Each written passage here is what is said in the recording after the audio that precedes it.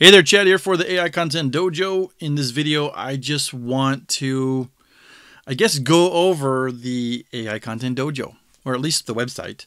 Uh, if you've seen the YouTube channel, you know there's probably something like 90 something videos in there, and they're all covering AI content, uh, AI writers, and various ways of how to use them and things like that. And, um, but one of the biggest questions that I keep getting over and over again is how do I do workflow, like from beginning to end? How do I complete content using whatever tool, whether it's Frase or Shortly or Jarvis? How do I get something done? And I just want to take a moment and just show you. I'm going to call it the treasure trove of information that's inside of the AI Content Dojo website. If you haven't seen this before and you have that question, like how do you do a workflow, let me show you something. This is um, just the website aicontentdojo.com. And this is the landing page you get when you come onto the homepage. Just enter the dojo. You're going to go straight into the workflow page. It's where you go right off of the homepage. And this is like an overview of the workflow. So there's a little welcome video, and then we just go through all the steps, right? Each of the steps are basically brainstorming, right? Coming up with ideas, researching, got to make sure you know that topic really well so you can deliver for your reader. Uh, writing and content, well, that's the part where you actually put that research into action and uh, get the words created using AI tools and, you know, some good old fashioned hard work too. Um, this needs to be swapped. edit is actually next. You edit that content, make sure that reads well, you know, isn't uh, overly fluffy, make sure there's no plagiarism and errors and things like that. And then after that, you would go to SEO, you know, maybe something like Frase to kind of make sure that you're not missing any content and you got all the right words in there to make it match up favorably against the competition and then you publish and promote. That's the full workflow basically. And this overview page just kind of goes over it. First, I'll tell you these are the tools that I recommend. These are um, some AI tools, some AI uh, research assistants, uh, Grammarly Premium for editing. And if you want a video on, on what I recommend, you can go here to, to see that. Uh, the overflow or the, the overview of the workflow steps is brainstorm, research, writing, edit, SEO, publish, and promote. I don't have that much about promote just yet, and honestly, not really publish either. A little bit, but most of the the content is around brainstorming, researching, writing, and then editing and SEO versus the the last two there. Uh, so basically, you just get a little bit of an overview of what each step is, but it's pretty self-explanatory, right? Like you find out what you're going to write about, learn it, write it, edit it, get it ready for for uh, Google, and then publish it online nicely. When I say publish, I'm going to go ahead and click here. Uh, when I say publish, what I mean is using, you know, is beautifully publish your your article. You know, you spent all this time to do the research and to you know create a masterpiece for your reader that resonates with them. Why not make it look nice too? Kind of like what I do here on the AI Content Dojo website. And so all you really do is just kind of look through here, figure out what, I mean, that's the flow. You click on here if you want to learn more. So each section of the of the flow, each step of the workflow, you can in the menu that appears on the site here, you can see them all here. And you can just kind of learn more about each step, right? So here we are in the edit step. This would be the content that I've created to help you in the edit step. So there's one, two, three, four, five articles here. It's not really the treasure trove, but when you look in the other ones, let's say brainstorming, for instance, brainstorming has quite a bit more. And then if we go into research, research has a few more. And if we go into writing, writing is the one that's crazy because writing is where, you know, where all these AI tools mostly sit, you know, and so there's a lot of content in this website about how to do writing with AI tools. So if you have that question, like where, what does your workflow look like? Well, the workflow is, is pretty much just coming with ideas, researching it, writing it, editing it, getting it ready for Google and publishing it. And if you need help with any one of those steps along the way, you can come here and just pick the step and go right into it. Now over here where it says AI apps in the menu, um, this is where I break down the content from the angle of the app that you want to use. So for instance, if you if you're a Frase user and you want information on Frase, you'd click here. And at the top, I basically just say, what is Frase? I provide a link to go get Frase. And yes, that is an affiliate uh, link. If you purchase it through that link, uh, then the Frase team will give me a small commission to support the dojo. It's no, at no extra cost to you. Below that, though, just like on the other steps, are, are the articles that are focused on Frase. So these are the ones. Now, this isn't broken down by the step in the workflow. This is broken down purely from the fact that the content of the article uh, contains information to help you use Frase. The same thing can be said for shortly.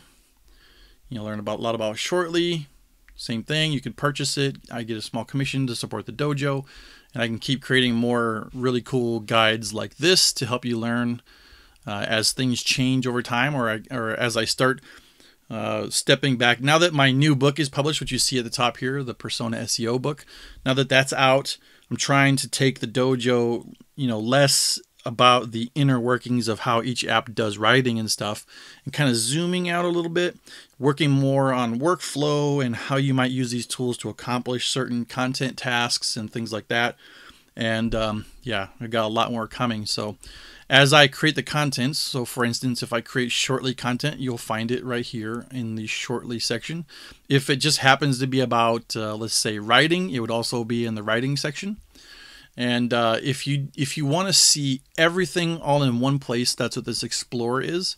So this is all of the articles that I have written on the AI Content Dojo website to give you information uh, to help you work and help you get things done. So as you can see, there's quite a lot in here, and I hope that you'll use it to um, you know figure out your you could use this workflow as is if you want to, but kind of figure it out for yourself, whatever works for you. And I'm going to zoom real fast. So if you, if you get motion sick, I'm sorry. Um, so that's Explore. Now back inside of apps, there's the compendium. Now the compendium is where I put together a whole bunch of stuff that are like the commands that kind of make Shortly and Jarvis work really good. Uh, so like if you need to accomplish things, like let's say um, one of the features of the compendium is that you can filter it or you can even enter your topic. So let's say that you are going to um, write about fishing with a tape measure. Uh, and you know you want to write uh, let's say an accomplishment you know so since i put in fishing with a tape measure it says write an accomplishment about fishing with a tape measure right and let's let's say that you wanted to change that even like like you know about fly fishing with a tape measure. You know, if you wanted to t- change it in just this one instance, you could change it there or you could change it up here. And so since I, I changed it down here, now it's fly fly fishing, right? So come back here and just take that off. Uh, so yeah, I mean, that's one of the things. Let me just go ahead and take this away so we see the everything now. And let me just zoom out a little bit. I'm going to zoom way, way out. You're not going to be able to see everything, but I just want to show you how much stuff is in here. So you get accomplishments, acronyms, uh, AIDA, that's a marketing uh, template. Uh, answers, if you need to write like something like a featured snippet for Google, you would do that with something with code like this. And and before I go too far, I'm gonna go back up here there's a toggle button here. You toggle this, and it just shows only the only the main sections and gives sort of takes away the the helpful instructions. So if you don't need that and you just want the commands, hit that toggle button. And so we got a, a before after bridge. You can even get baby names, book titles, excuses. Give me a list of homework excuses for fly fishing with a tape measure. Interesting. Um, feature benefits, headlines, introductions, letters listicles, outlines, all kinds of stuff that you can do with these AI tools that have command capability. Now, right now, Frase doesn't have commands, so these will only really work with Shortly or, or uh, Jarvis, but Frase is working on commands, and so it will work with Frase as well in the future at some point when they release that. Uh, but that's the compendium. Uh, there's also, you probably pretty much ignore the organic traffic estimator. It's just something I kind of put together that's kind of a, a fun little tool that kind of tries to guess.